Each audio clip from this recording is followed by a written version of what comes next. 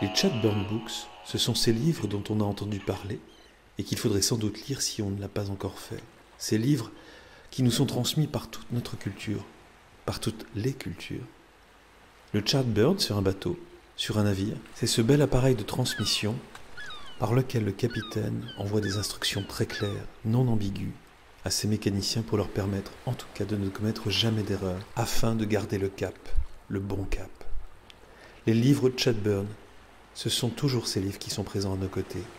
C'est notre patrimoine littéraire, celui qui nous permet de savoir où l'on va en sachant d'où l'on vient. Le Chadburn Book d'aujourd'hui, c'est La Chambre des officiers, un roman de Marc Duguin.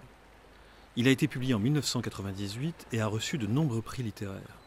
Il nous est présenté aujourd'hui par Nolven Guillou, directrice d'école de l'école de Trébédan, le blé en herbe.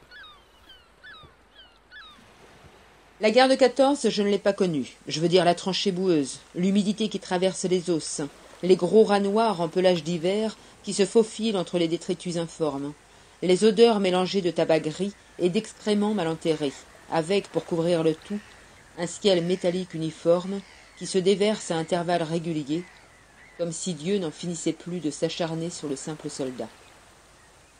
Ce n'est pas cette guerre-là que nous décrit de façon scientifique Marc Duguin dans la Chambre des officiers. Pourtant, ce roman historique témoigne de la violence des combats de la Grande Guerre et des traumatismes qu'elle a pu engendrer.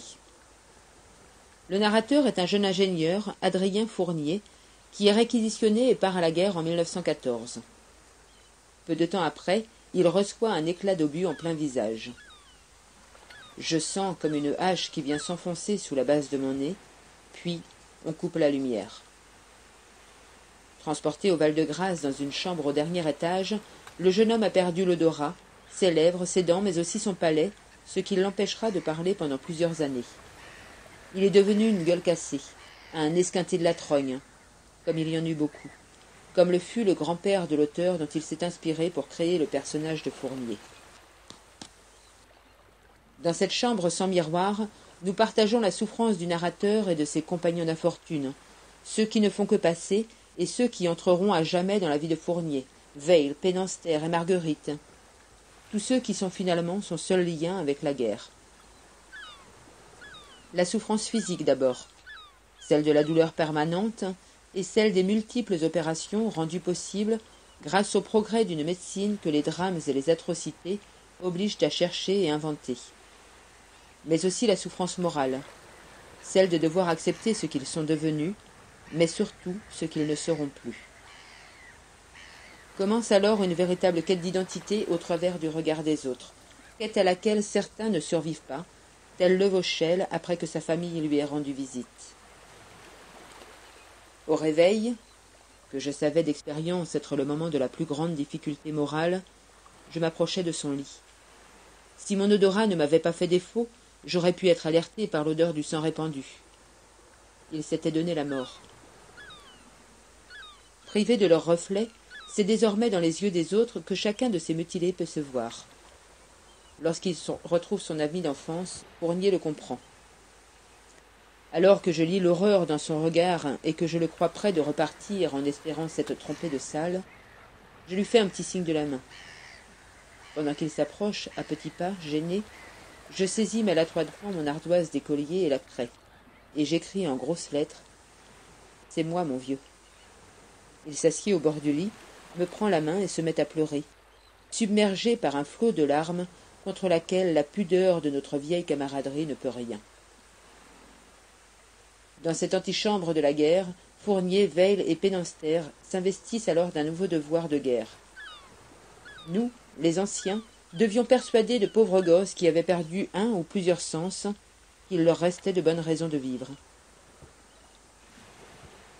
La perception que nous avons de nous-mêmes et du monde qui nous entoure est le fruit de notre culture, de notre histoire, de nos rencontres, mais aussi de l'histoire. Les trois hommes traversent les époques et les regards, depuis les ribaudes jusqu'aux enfants de l'entre-deux-guerres. Même les enfants avaient changé. Je me souviens d'un jour où une dizaine d'entre eux, assis dans un square, se sont mis à rire de moi en faisant mine de me lancer des pierres. Ce récit, c'est l'histoire d'un homme, des hommes, les soldats, mais c'est aussi celui de femmes.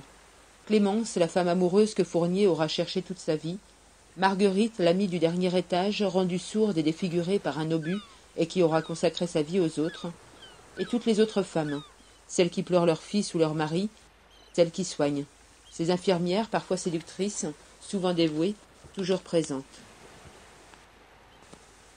Apprenez, mon beau monsieur, que la beauté est intérieure et que derrière un physique, aussi laid soit-il, il y a toujours une âme, une histoire passée et une histoire à venir. Voilà ce qui aurait pu être la morale de ce récit s'il avait été une fable. Ce récit, c'est peut-être surtout celui qui nous interroge sur notre sentiment d'humanité, celui qui nous unit et fait de nous ce que nous sommes. Je me suis longtemps demandé ce qui avait pu rapprocher un aviateur juif, un aristocrate breton bigot et un Dornonio républicain laïque. Sans doute nos blessures, mais surtout notre décision commune de ne pas sombrer dans l'amertume.